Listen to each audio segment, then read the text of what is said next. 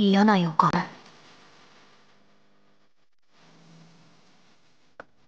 ずっといい予感しかしてこなかったのに。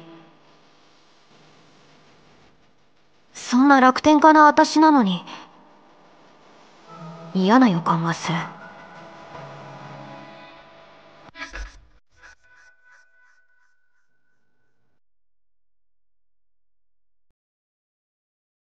なあ。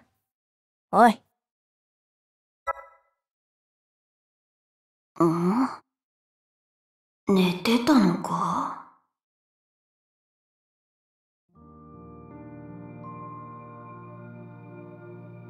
このように本基地は学校としての体裁が整っています。詳細は後ほどあなたたちの担当教官から説明があるので確認しておくように。偉い人の挨拶ってやたら長いよな。退屈だから話しねか？出ないと寝ちゃいそうだぜ。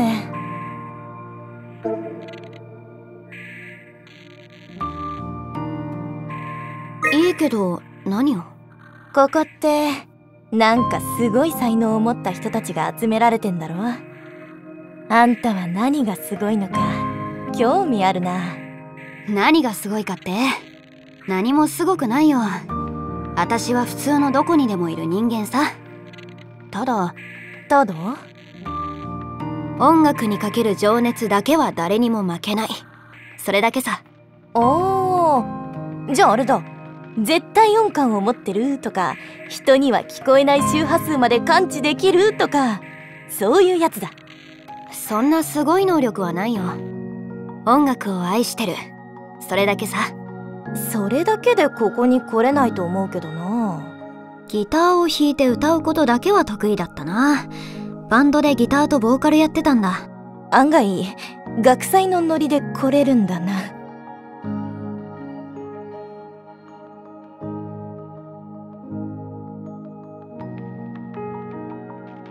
あんたは？あたしかい？あたしは泉ってんだ。こう見えて腕利きのハッカーさ。オオーキッドというハッカー集団の名は聞いたことあるかな？世界的に有名なんだけどさ。オーキッド？あんたオーキッド好きなのかい？あの伝説の劇場バンドギャイアグレイボドドドドって叫び散らして魂を震わせる違うよなんだよそのテンションの変わり方それにギャイアグレイボドドドドーって叫び散らすバンドなんて嫌だよいやいやなんでさイラが溜まってさもうどうにも自分をコントロールできないってなった時お前どうすんだよ？どうするってそりゃちょっとは他人に当たるかもな。ええー、普通ギャイアグレイボドドドドって叫ぶだろ？叫ばねえよ！叫んでもその言葉だけは選ばねえよ！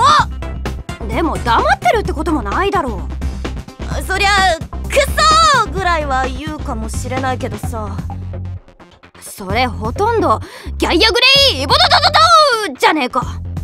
いやいやクッソーとギャイアグレイボドドドドーには天と地とまでは言わないけど相当な差があるよ。なんだろうそこを優先席なんで譲ってあげましょうよと。おめえいくつなんだよそこどけぐらいの差がさ。え？あんま変わんないじゃん。よ。おめえいくつなんだよ。そこどけより上あるか？あるよ。一生座るな。死ぬまで立ってろ。死んでも立ってろ。仮装して埋葬されると思うな。土葬で盾に刺す。あった。死んでも立て。寝たい。死んだら横になりたい。だろ？納得するか？ハッカー集団の説明1ミリたりとも進んでない！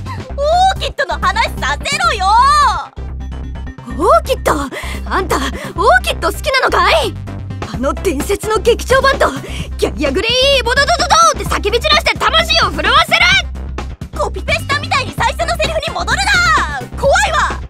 何回話しかけてもそれ以上は同じことしか言わない NPC か！もうちょい作り込みましょうってデバッカーに提案されそこギャーギャーうるさいぞ。ギャーギャーなんて一言も言ってねえよ。ギャイアグレイボトドドドドドーった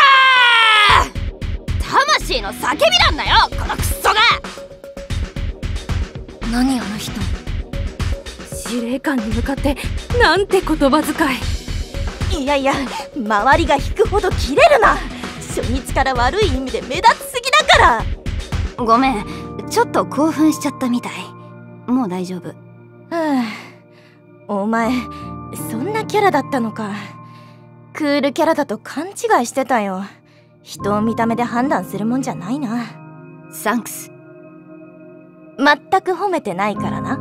やべえ初日からとんでもないやつに話しかけちまったよ。ん？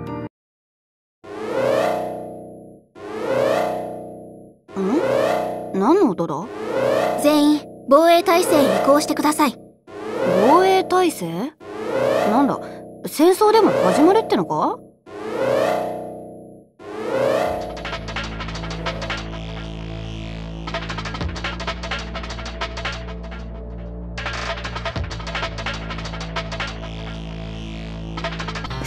なんて経験したことないぞ。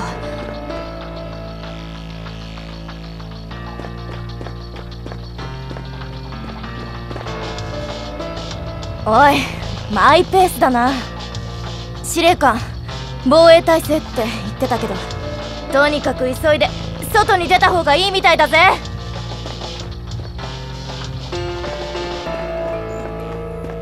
急だな。どうした？悲劇だね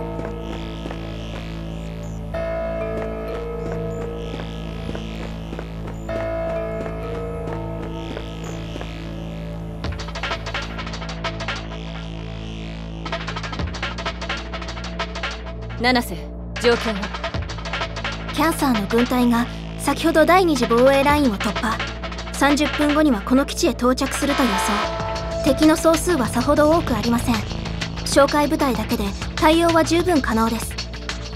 そう。いい機会だからあなたたちに後方支援をしてもらおうかしら。急いで出撃準備を整えて。あたしら？嘘だろ？ん？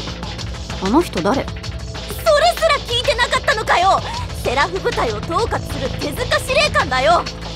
時間もないからすぐにブリーフィングを行うわ。よく聞いておくように。出撃って？そのままの意味よ。これから出撃して敵を足止めしてもらうわ。な無茶な。安心なさい。私も近くで指示とサポートをするわ。万が一の時はすぐ助けられる位置で。では出撃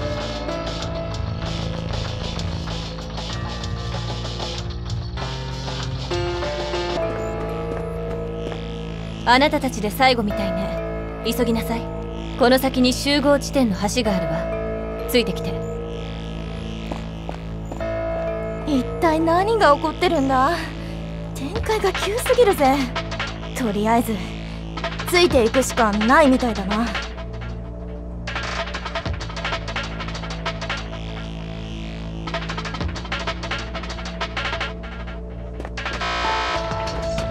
おいそっちじゃないだ。変なところで反骨精神見せるなよ。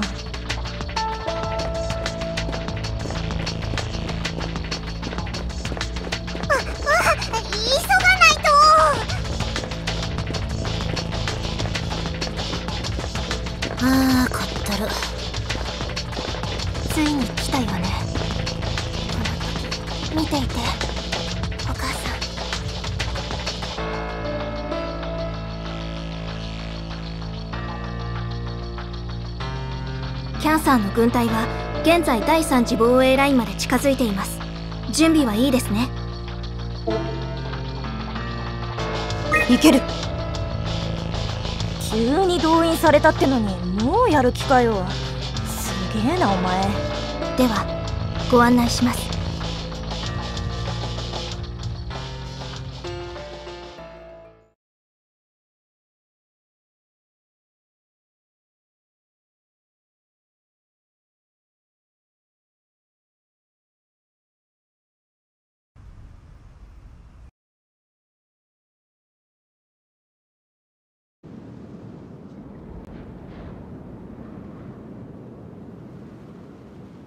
ずいぶんと寂れた場所まで来たな。安心しなさい。ここは激戦区ではないわ。あなたたちの役割はあくまで後方支援。集中して戦えば命を落とすことはないわ。そんなの何の気休めにも。ってあれはもしかして。注意して進みなさい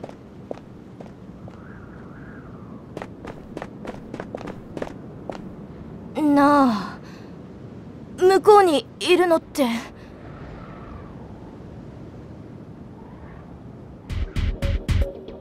あれがあなたたちの敵。キャンサーよ。データでしか見たことなかったけど目の当たりにするとでけえな。あんなのに対して何で戦えっていうのさ。こちらへ来なさい。立ち向かう術を教えるわ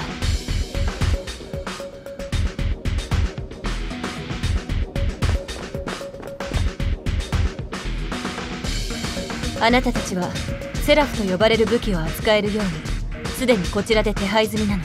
あとは電子軍人手帳を天にかざしセラフィムコードを口にすればいいだけ。それぞれのセラフがあなたたちのもとに舞い降りるわ。いきなり中二病ワードがポンポン飛び出してきたな。セラフィムコードはそれぞれの電子軍人手帳に記載されているから取り出して確認しなさい。まずはこうかざして私のセラフィムコードはこれか？ハローワールドうわ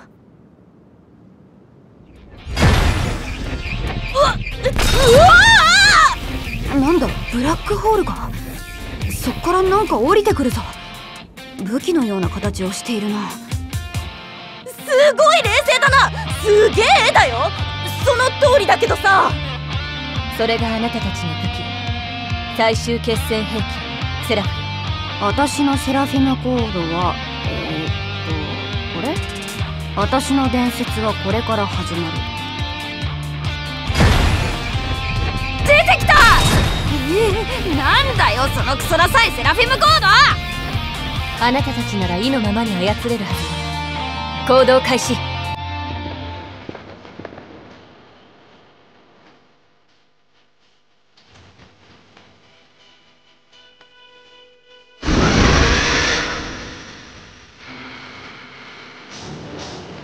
キャンサーは強固な外角に覆われているわ。外角を破壊してからでないと、本体に効果的なダメージを与えることはできないな。まずはその破壊を目指しなさい。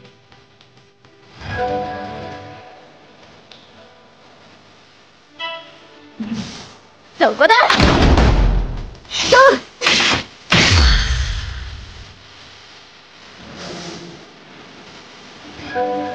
セラフの力は、スキルによって最大限に引き出されるの。あなたたちになら扱えるはず。命を落とさないよう、集中して戦いなさい。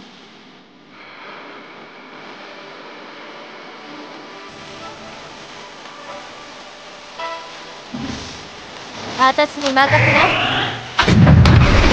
よっ待ってましたどうだ？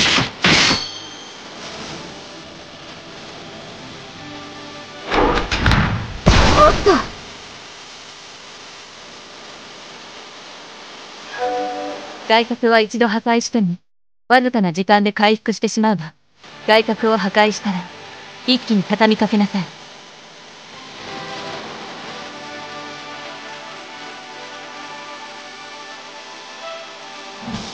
当たれよっこらしょっと筋はいいわね。ただ、敵は一体とは限らないわ。あなただけじゃなく、仲間と協力して戦いなさい。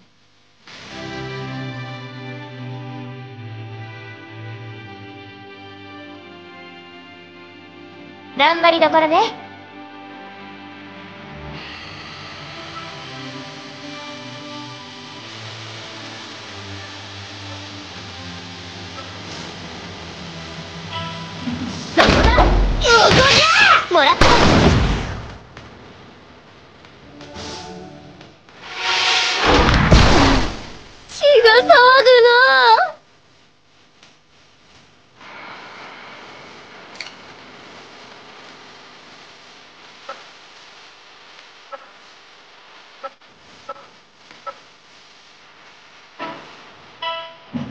私に任せなここからね。シルキがあんま張り切りすぎんだよ。チャンスじゃない？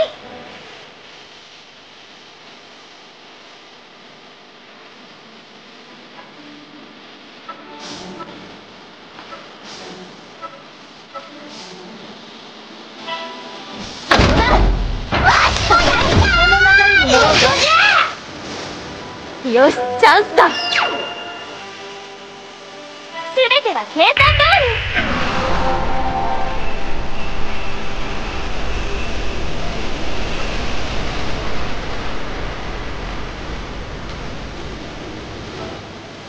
これでいけるはずよ。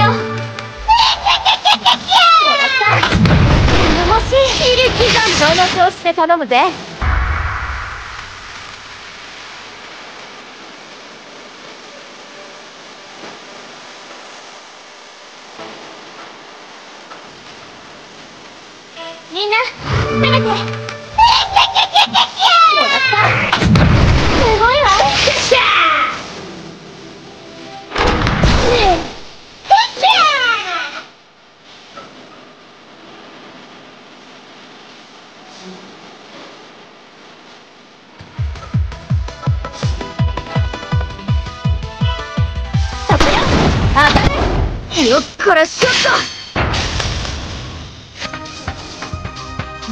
こいつはなんか手応えがあるもしかして私って天才？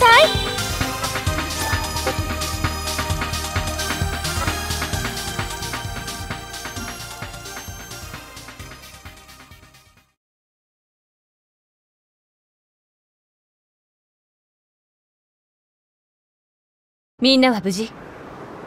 総員無事です。それは何よりだわ。なんだかロックなことになってたなロックどころじゃねえ。いきなりの実戦で命がけだったわ。キャンキャンうるせえやつだな。普段もっとうるせえ音楽聴いてんだろ。変なところで冷静だな。感心す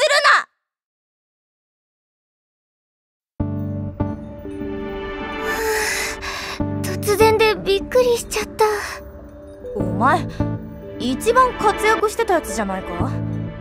すげえノリノリで戦ってたような気がしたんだが。でもこうしてみると。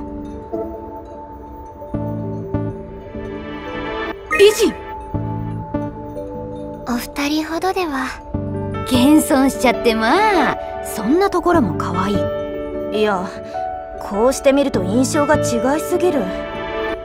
なんだこの違和感は朝倉カレン系のゲームが得意なだけな普通の元女子高生。それが実戦でも役立ったってか？だと思う。ね今のが敵ってわけ？ああ NASA が世界中で確認した14の飛来物から湧き出てきた地球外生命体だ。私たちオーキッドが掴んでいた情報によるとな。へえそっちのオーキッドもすげえんだなそっちはうるさいだけだろ。そんな情報通だと消されるわよ。あんたは名前？言うわけないじゃない。だって情報員なんだも東条だよな。のなぜそれを？さっき東条と呼ばれて返事してたから。やるわね。いやすごいイージーミスだから情報員だったらこの状況のことちょっとは知ってるんじゃないか？本当の声を聞かせておくれよ。敵は宇宙という体内に発生したがん細胞。そこからキャンサーと呼ばれているわ。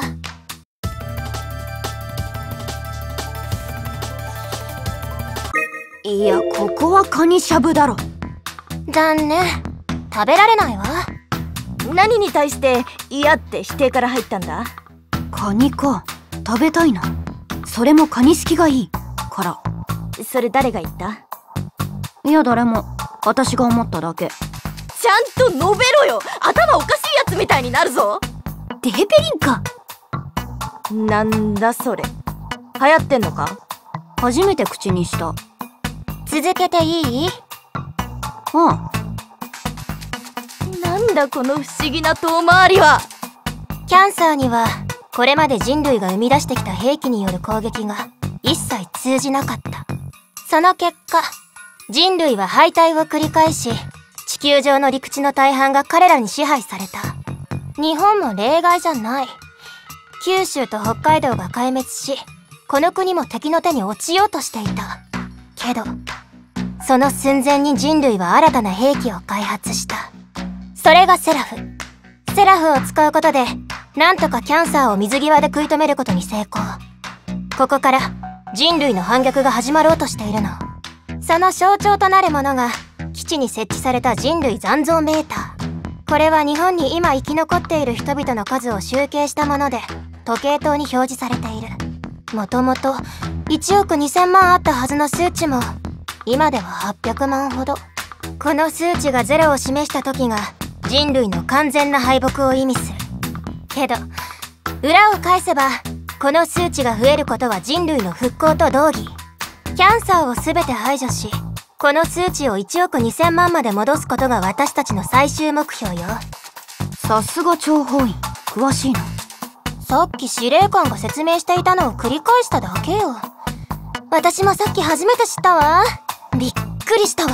たまげたわ。軽く度肝を抜かれたわそうで有能じゃない！どうして？その最新の兵器であるセラフを何の経験もない私たちが扱えたのかしら？とにかくもっと調べないことには謎だらけね。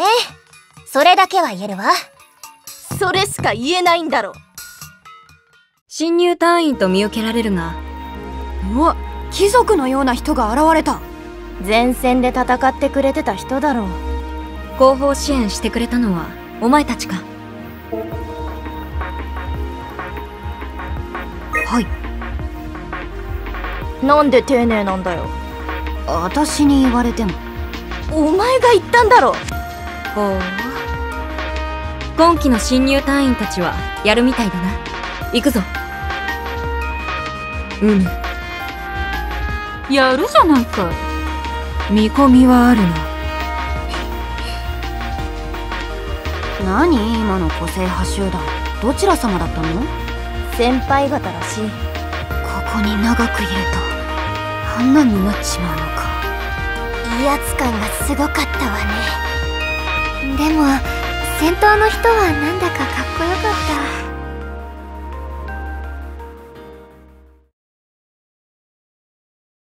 た。あなたたち整列しなさい。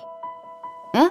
私ら？今日はよくやってくれたわでも明日からはちゃんと兵士としての訓練も行いますから。その自覚を持って行動するように。茅森さんあなたを第31衛部隊の部隊長に任命します。全員入社したら私に報告して。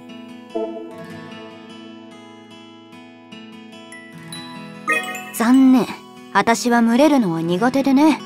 一匹狼がお似合いなのさ。人類の存亡がかかってるんだから群れろよ。一つになる時だろ。えー、柄じゃないんだけどな。こいつじゃダメ。私？こんなまとまりのない連中たく仕方がないわね。他にできそうな人もいないようだしみんながそこまで言うなら。不適任ダメ出しされた！超かっこ悪い！そもそも拒否権はない。えー、やりなさい。茅森部隊長。うーん。じゃあ役不足ながら部隊長を務めさせていただくとするよ。役不足の使い方おそらく間違ってるからな。今から宿舎に行って自分の部屋と装備品を確認しておくように。それから電子軍人手帳は肌身離さず所持しておきなさい。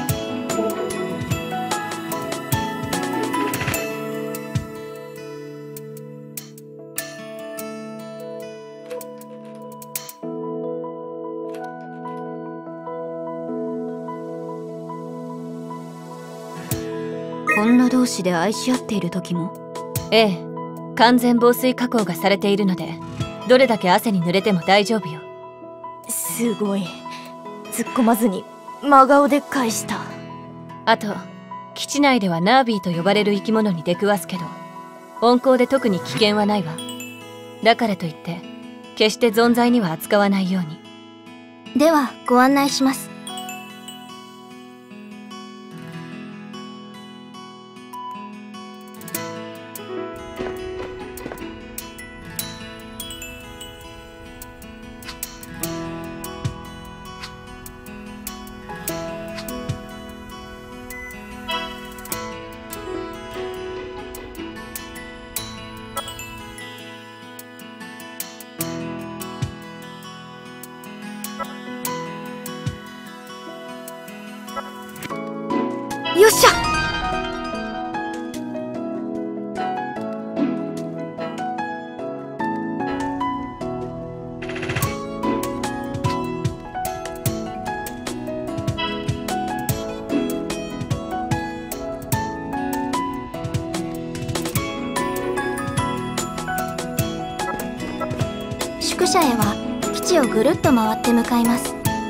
します。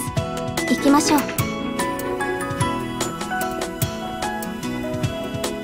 どんな宿舎なんだろう。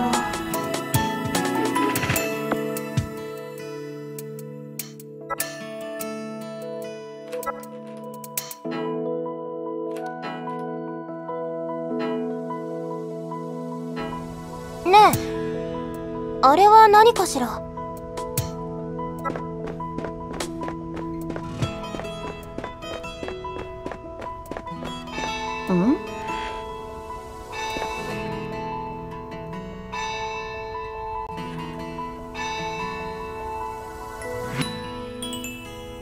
ねえねえ時計塔の下に見える0080653000って数字は何？人類残存メーターです。日本に今どれだけの人が生き残っているかを示しています。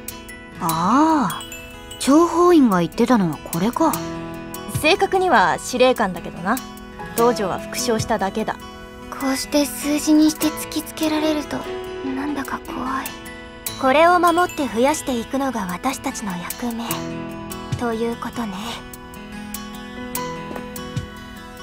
では宿舎にご案内します。どうやって人数を数えてるのかな？カウンターをカチカチさせてるんじゃない？社長の会の人みたいに。んなわけあるかよ。あいつら同期みたいだな。戦ってた子たちだな視線を感じない？新人が気になるんだろう。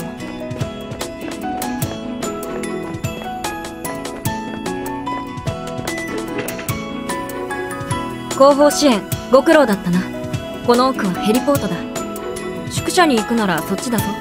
司令官に認められたらお前たちにも専用機があてがわれるだろう。楽しみにしているぞ。共に戦場を駆け抜ける日を。ではまたな。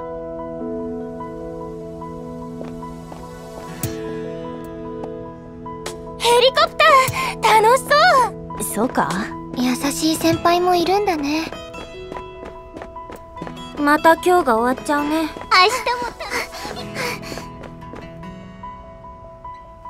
日もうわこいつらか！さっき言ってた星のナービーってやつは。星のとは言ってなかったろ。言ってたらちょっとした問題だぞ。すごい。跳ねた。見た目以上に身軽なのね。あっちにもいるしそこらかしこにうようよいるみたいだな何のためか調べる必要があるよね。諜報員ならすでに知ってろよ。そういうのをこっちは期待するだろどこからやってきた生き物なのかな。それは私の予想ではこうだ。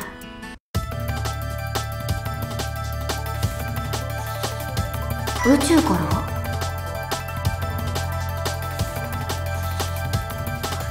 ら町おこしのため？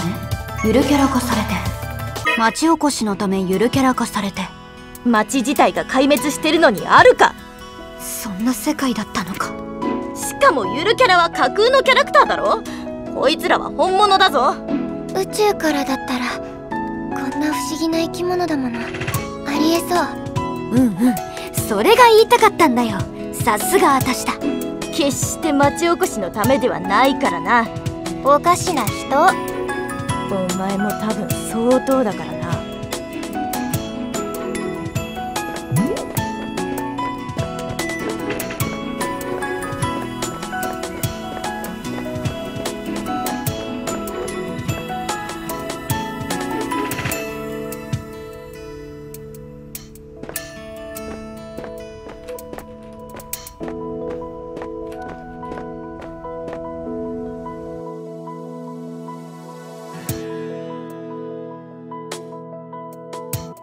それぞれあてがわれた部屋で夕食まで待機してください。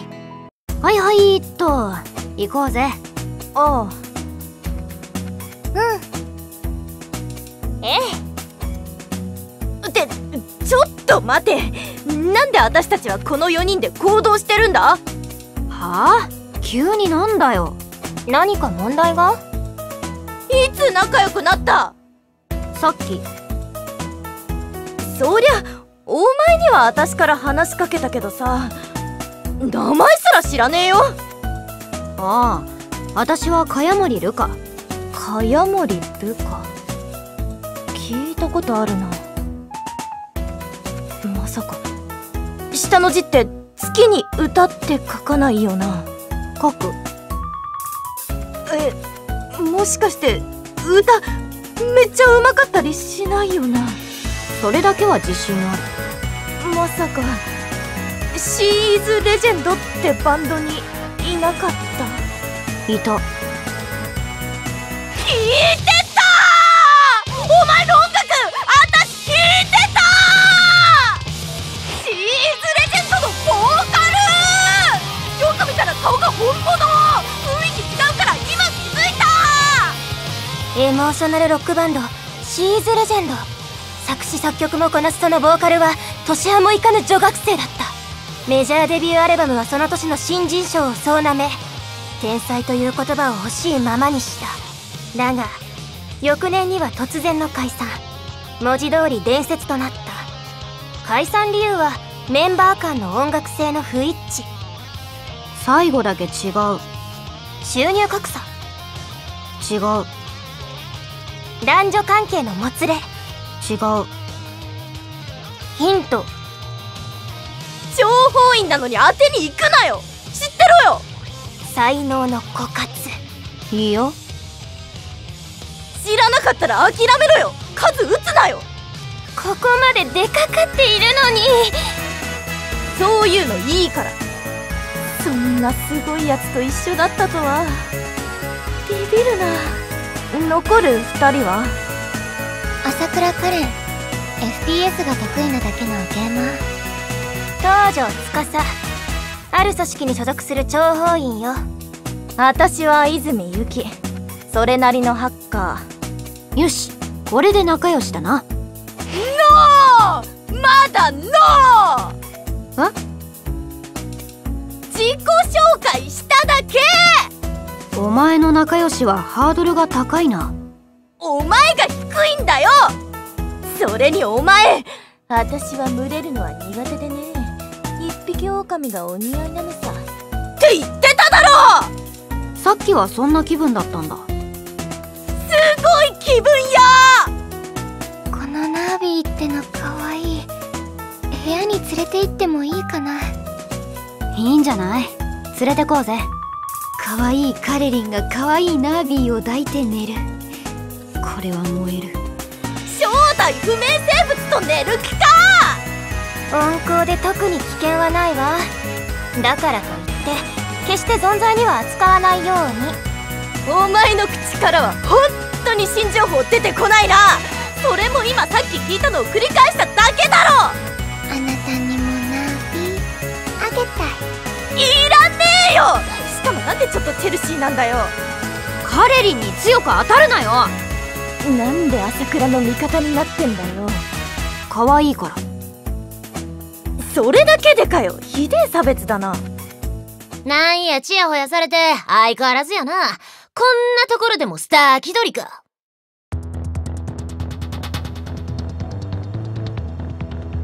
注文したピザ届いたか。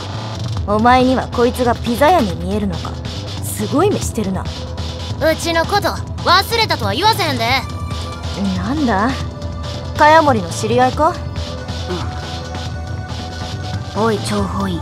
情報。シーズレジェンドのローディーで主にギターを渡してた子。よーい久しぶり。全然ちゃうわ。ヒント。知らないなら諦めろよ。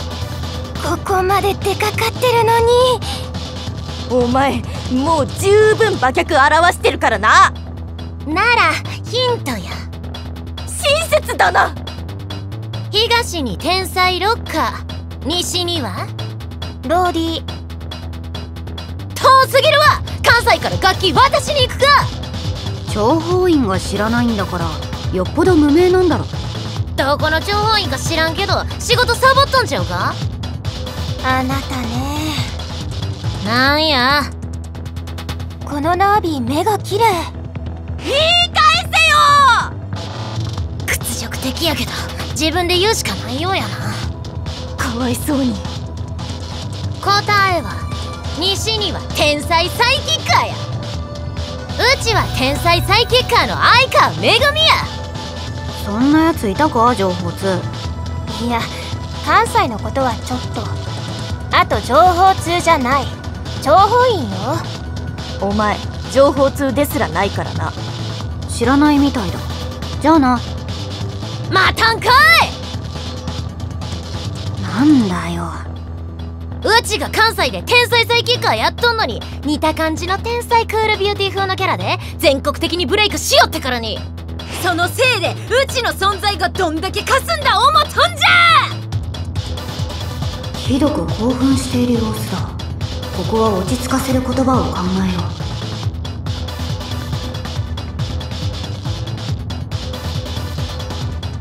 ロッカー特有の？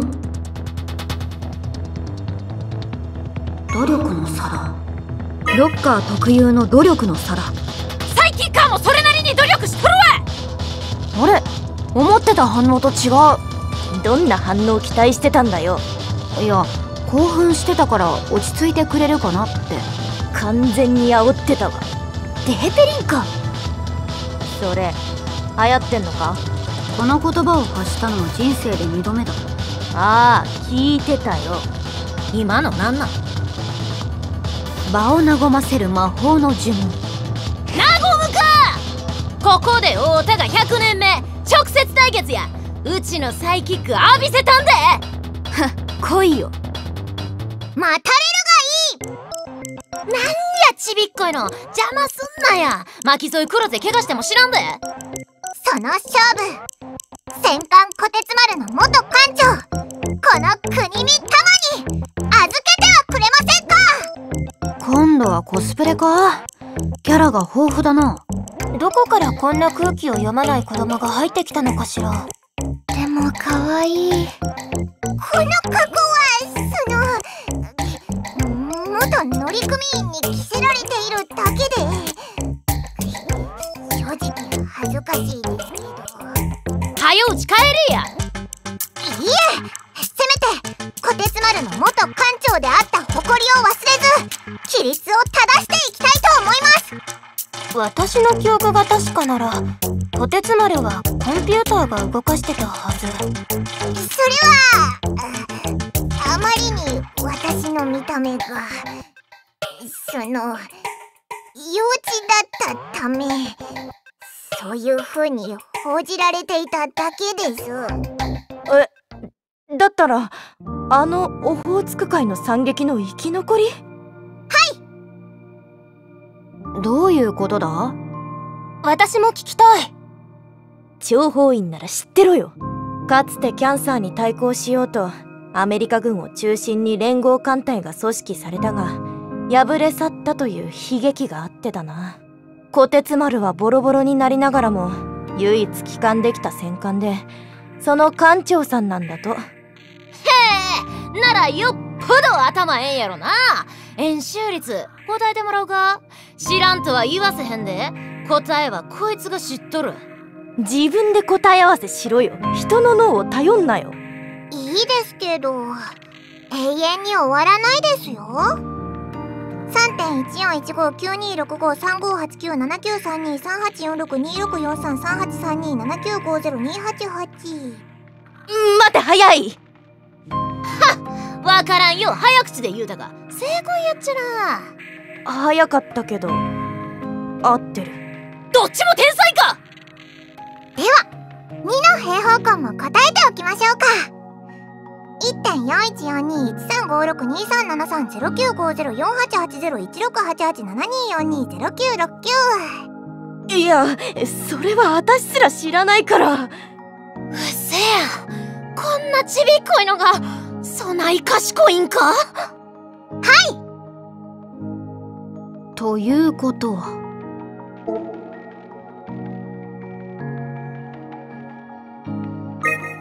ロリキャラだわ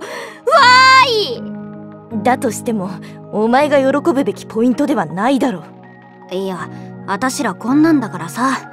こういうちっちゃい子が一人いると安心すんじゃん？誰目線で言ってんだよ。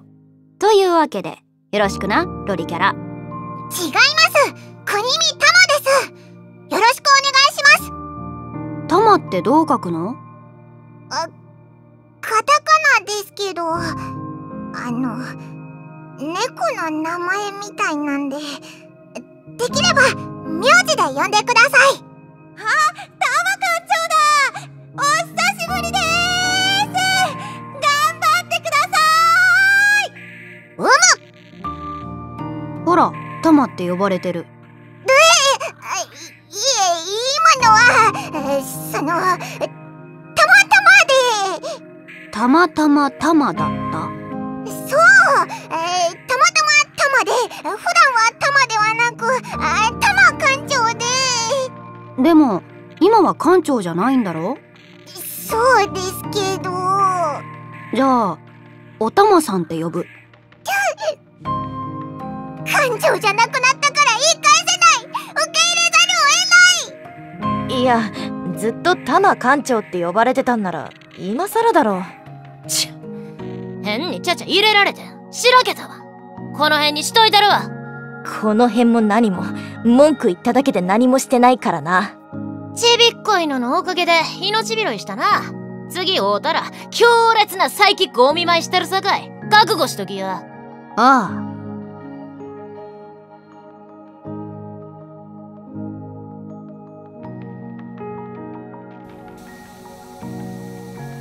ちょっと一人で考え事がある各自部屋で待機って言ってたけどここで休んでから部屋行くよ。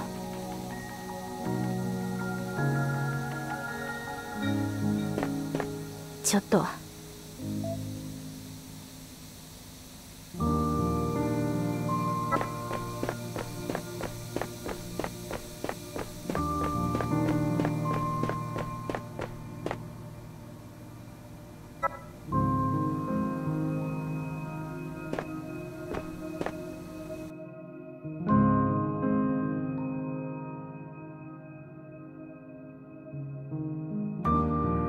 よし来い。うせやん。なんで自分らと同じ部屋やねん。もしかしてこの6人で 31A ということ？うん。部屋の前にネームプレートを貼ってあった。情報員のくせにボートついて入ってくんなよ。つぶさに見ておけよ。だから挨拶に参ったのですけど。うのやろうぜなの持ち込んでたのかよ。それより先にやるべきことあったはずだろ。ないよ。ドローワイルドドロー。あチャレンジ。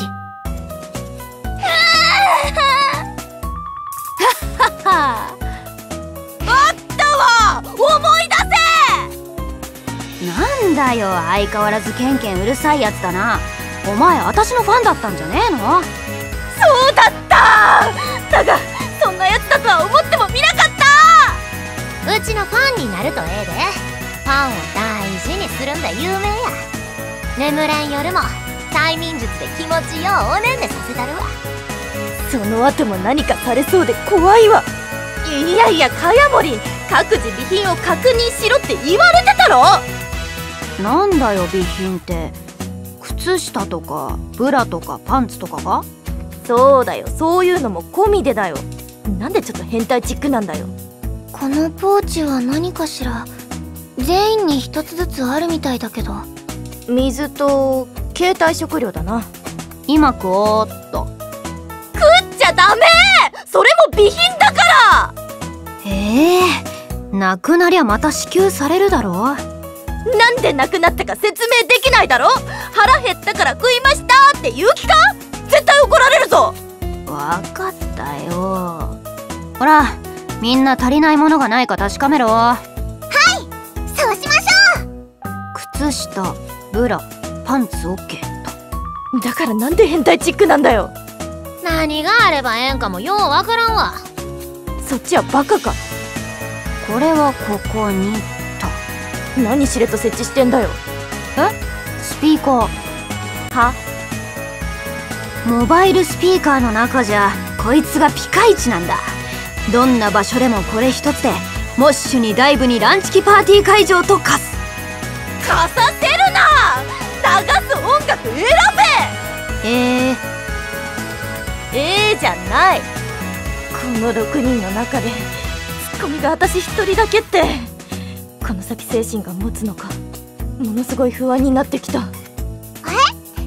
私がいるじゃないですか。いやいや。え？ボケの自覚ないのか？いやいやいや。いやいやいやいや。お前ら何イヤイヤ合戦やってるんだ？もう確認は終わったのか？本日入隊をされた皆様はカフェテリアにお集まりください。夕飯の用意ができています。おっと。もうそんな時間かちょっと寄ってくか。なんで仕事終わりのサラリーマンみたいになってんだよ。UNO やってただけだろ。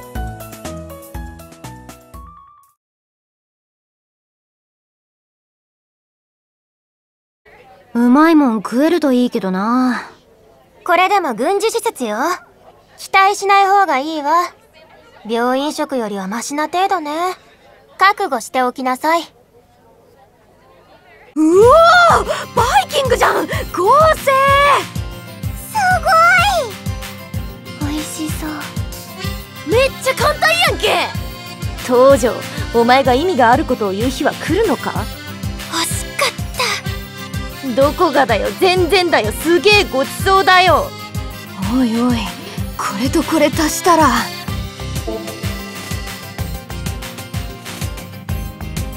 ンバーグカレーになるぞ。すげえテンション上がる。脳足りんなんは相変わらずやな。はあ？自分の愚かさに気づいてへんアホに教えたるわ。なんだよ。ええか？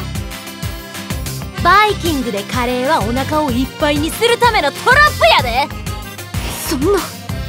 そこまでショック受けるなよ。麺類もそうや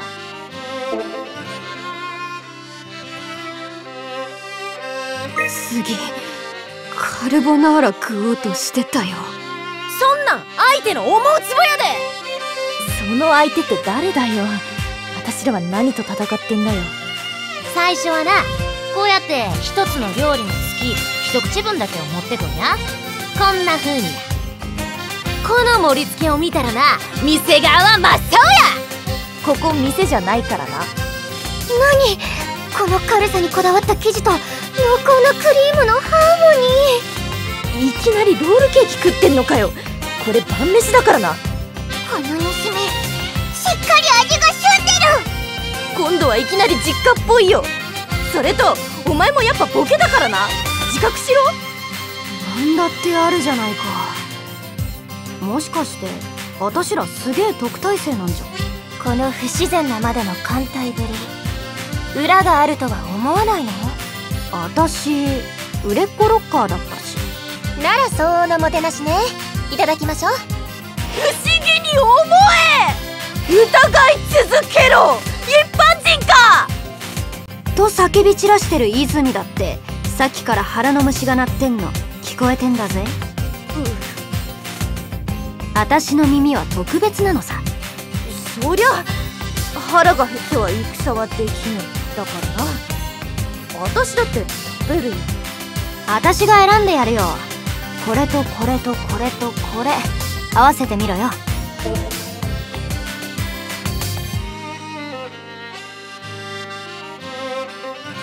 あらゆる足が生えた生き物丼になるぞ。やだよ。なんかトラウマになりそうだよ。その時の彼女たちは知る由もなかった。この中の一人が明日にはもういなくなること。をんなんかナレーションが聞こえたような。しかも超不吉な。誰が言ったんだ？カレリ？ンうん。じゃあ諜報員？違うわ。おたまさん驚かすなよ。あんな声出るのかよ。違います。じゃあ誰だって言うんだよ今の声が誰のものでもないなら一つだけ可能性が思いつくわ。なんだよ。もう一人の招かれざる客人。なんだってんだよ。座敷わらし。妖怪の存在を信じるな情報員他に何が考えられるの？とりあえず妖怪は考えられないから。ならお手上げ。全く見当もつかないわほんと使えないな。このナビが喋ったとかは？そんな人間のような発生期間があるように見えるか。ないか。お話できたらいいのにね。あ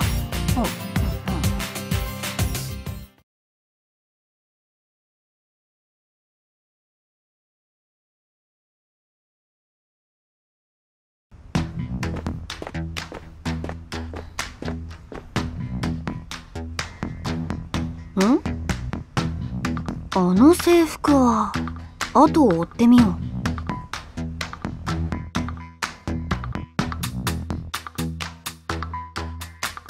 う。おや？お前は確か茅森とか言ったか？尾行ついでに研究棟の中までつけてくるとはよほど気に入られたものだな。私は樋口聖華セラフを研究している。そしてここはその最前線となっている科学技術研究所だ。近いうちお前らは私の手のひらで踊ることになる。何？研究の内容が知りたい？いいだろう。隠すようなもんでもないしな。凡人にもわかるように言うとスパコンによるセラフマッチングシステムだよ。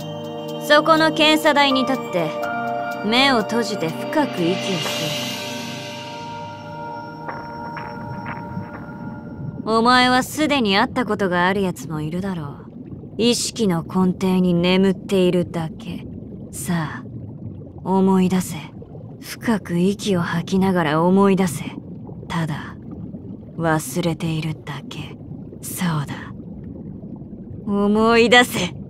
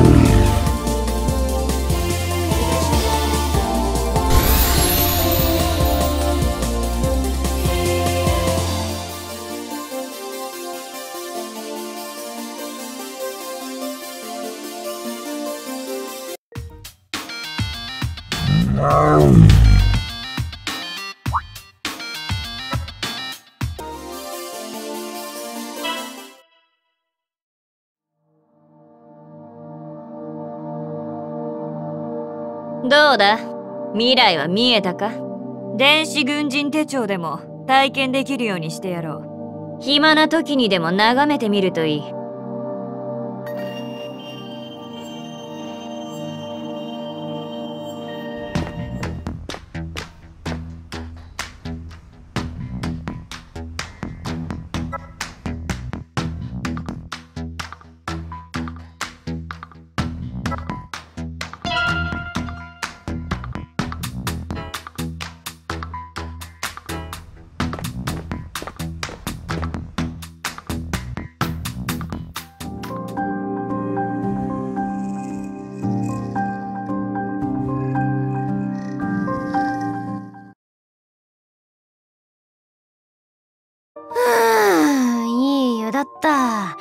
風呂も温泉みたいで最高じゃん。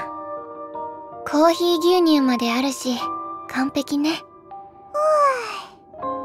風呂上がりだと暑い。ならそんな重ね着しまくってるマント脱げよ。それは違うと思います。何がだよ。きっと私が言ってることの方が合ってるよ。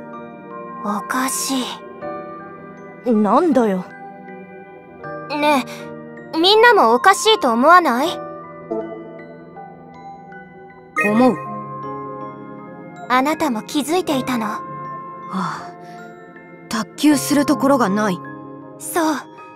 温泉宿にはつきものなのにね。コーヒー牛乳いただこうっと。お前の抱いた疑問はそれで合っていたのか情報員え私？そうだよ。何がおかしいと思ったんだよ。卓球するところがないことじゃないだろ。そうなのだけど大したことじゃなかったわ。まあ実際大したことないんだろうけどさ。言いかけてやめられるのすげえ気になるから最後まで言えよ。えー、っと何だったかしら。そうだ。ねえみんなおかしいと思わない？大したことじゃないだろうけど。聞いてやろう。言ってみろ。ここに来て一度も男の人に会ってないあれ？本当だ。すっごい重要な疑問だった！そもそも軍なのよ。どうしてみんな揃って女性なの？そんなん簡単な話やなんだよ。うちらの才能が男に勝っとんのや。なるほど。私たちも捨てたもんじゃないわね。腑に落ちるな誰も気づいていない諜報員っぽい疑問を呈してそこまではよくできましただったのに！じゃあどうしてだって言うんだよユッキー。なんだよそのユッキーって。泉ユキなんだろ？いいじゃんユッキーで。ニックネームってことか？そう。私のことはルカでいいよ。は？なんだよ。私ら友達みてえじゃん最初に話しかけてきたのはそっちじゃねえかよ。そうだったな。話を戻していい？お前に言われるとは思わなかった。ひどく哀れな気分だ。どうして女子しかいないかって？男子宿舎と分かれているだけなのでは？入隊日すら男子と分けられてるっていうの？そういやあの場にも男子はいなかったな米軍ではずっと昔から同じよ。分けることの方がセクシャルアサルトとなり批判の的となるわ。果たして世界が許すかしら。今のお前すごく諜報員っぽいよ。それを維持し続けろよ。じゃあ何だって言うんだよ。考えられる可能性が一つだけある。それだ来いよ。確信ついて来いよ。私たち6人はアイドル的に地球を守る的な？やっぱりアホだった！その可能性だけはあれへんわ。うちは黙っとったら美少女やけどそっちのロッカーさんは首の下から足の先までど田舎の芋娘丸出しやで。顔がイケてんのは認めるんだな。まあ明日から訓練も始まるんだし隙見て教官にでも聞いてみたらわかるだろうそんな簡単に口は割らないと思うけどな。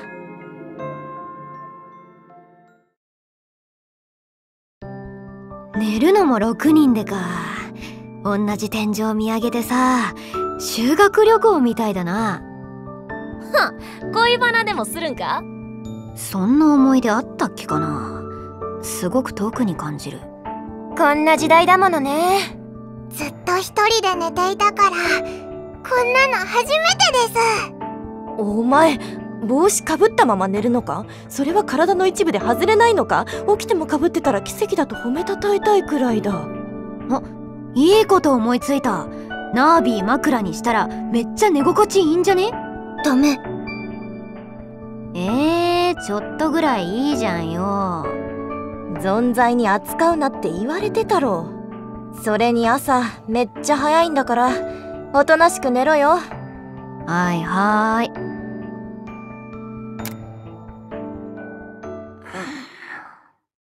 ふ ぅやれやれな一日だったな。朝目覚めるたびに一人ずつ消えている。そんなゲームがこれから始まる。え？そんなゲームが始まるの？ユッキーお前が一番うるさいからな。いい加減寝ろよ。今のセリフ聞いてよく平然と寝られるな。みんな寝てるし誰かの寝言だろ。いろんな意味で怖い。何が始まるんだよ。これから一体